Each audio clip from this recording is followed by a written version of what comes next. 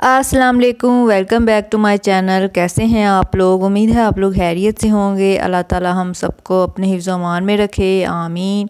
तो जी, आज हम आए थे जलाल सन्स। आज तो नहीं, ये काफ़ी पुराना क्लिप है तो आज आपके साथ मैं शेयर कर रही हूँ। तो काफ़ी माह पहले इसकी ओपनिंग हुई थी इधर सियालकोट में। मेन ब्रांच तो इनकी लाहौर में है। तो हमने सोचा कि चलें विज़िट करते हैं और हम ख़ास तौर पे बर्फ़ी लेने आए थे यहाँ पे और हुआ कुछ यूँ कि हमसे पहले एक आदमी ने बहुत ज़्यादा बर्फ़ी ऑर्डर की हुई थी, दो तीन किलो तो वो सारी बर्फ़ी उनकी ख़त्म हो गई। तो फिर हमारा आना ऐसे ही बेकार गया तो फिर हमने सोचा कि चलें गुलाब जामुन और कोकोनट लड्डू हम पैक करवा लेते हैं और दूसरी एक बर्फ़ी थी जिसमें फ्रूट्स थे, वो दूसरी बर्फ़ी थी, हमने सिंपल लेनी थी। तो फ्रूट वाली फिर बर्फ़ी थी वो। तो हमने सोचा कि चलें, गुलाब जामुन कर लेते हैं। तो वैसे मुझे हास जो स्वीट थी ना, वो मुझे हास पसंद नहीं आई खाने में।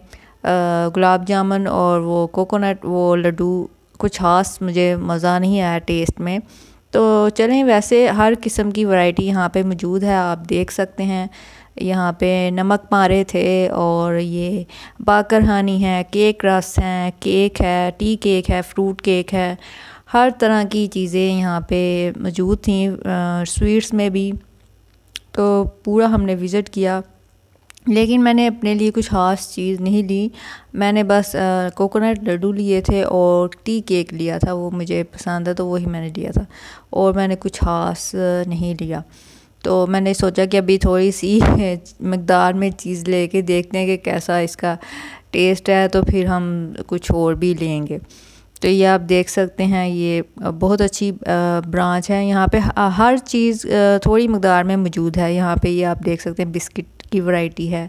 तो इस इनकी जो पैकिंग का जो है ना पैक, पैकिंग जैसे ही करते हैं मिठाई की या वैसे तो वो बहुत अच्छी करते हैं। तो यहाँ मैं टी केक देख रही थी। तो सबके ऊपर उनकी एक्सपायरी डेट लिखी हुई थी तो मैंने कहा अब तो एक्सपायरी डेट देख के लेना पड़ेगा। तो वो कुछ सही नहीं लगी मुझे तो मैंने फिर नहीं लिया मैंने टीके कहीं और से ले लिया था। तो ये कॉस्मेटिक का एरिया था कॉस्मेटिक भी यहाँ पे थी क्रॉकरी भी थी आ, बच्चों के टॉयज़ भी थे हर चीज़ मतलब कि थोड़ी मकदार में थी ज़्यादा वैरायटी नहीं थी है ये आप कॉस्मेटिक देख सकते हैं हर चीज़ मतलब थोड़ी मकदार में आप ज़रूरत की हर चीज़ यहाँ पे आप मिल को मिल जाएगी। तो ये आप देख सकते हैं यहाँ पे हम अम्मी को कह रहे थे ये आपका फेवरेट एरिया आ गया आप देख लें अम्मी को क्रॉकरी बहुत अच्छी लगती है बर्तनों वाला जो पोर्शन होता है ना वो अम्मी को बहुत पसंद है। तो यहाँ पे मैं अपने लिए मग देख रही थी कि मग मेरा टूट गया है तो मैं मग देख लूँ कौन सा अच्छा है। तो यहाँ पे अम्मी कढ़ाई देख रही थी कि कढ़ाई बहुत आ, सही लगी हुई थी यहाँ पे कि जो पकोड़े बनाने के लिए कढ़ाई होती है ना वो अम्मी कह रही थी ये कि ये बहुत सही है इसमें पकोड़े ना अच्छे से बनते हैं ऑयल जितना डालना हो मतलब कि ऊपर ऊपर की तरफ़ जो कढ़ाई बनी होती है ना शेप उसकी वो। तो यहाँ पे मैं मग देख रही थी ब्लू कलर का मुझे मिल जाए तो पड़ा तो हुआ था, एक तो एक डार्क में था, एक लाइट कलर में था तो मैं अम्मी से पूछ रही थी, मैं कौन सा लूँ? तो ये थी जी मेरी आज की शेयरिंग आई होप आपको अच्छी लगेगी। तो आपके शहर में है जलालसन में ऐसा ज़रूर शेयर कीजिएगा और कैसा है। हमने तो एक्सपीरियंस कर लिया है अच्छा लगा है। इतना अच्छा नहीं, लेकिन ठीक है। ज़रूरत की हर चीज़ है यहाँ पे।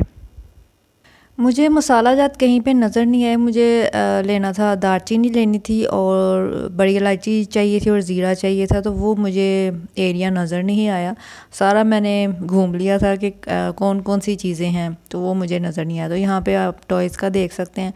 तो अहमद मुझे दिखा रहा था एवेंजर्स के सारे हीरोज़ यहाँ पे मौजूद थे। ये थैनोस है जो विलन होता है वो अवेंजर में तो मैं कह रही थी कि इधर दिखाओ, मैं फिर से एक शॉट ले लूँ। तो अगर आपके बच्चों को अवेंजर्स का शौक़ है तो वो यहाँ से हीरोज़ के टॉयज़ मिल रहे हैं, आप जाके खरीद सकते हैं। तो यहाँ पे मैं अपने लिए कुछ देख रही थी कैच बालों के लिए, लगाने के लिए। तो ये थी मेरी छोटी सी शेयरिंग आई होप आपको अच्छी लगेगी. तो इसको लाइक शेयर कीजिएगा और मुझे अपनी दुआ में याद रखिएगा. मैं मिलती हूँ आपसे नेक्स्ट वीडियो में. Take care stay blessed and अल्लाह हाफिज़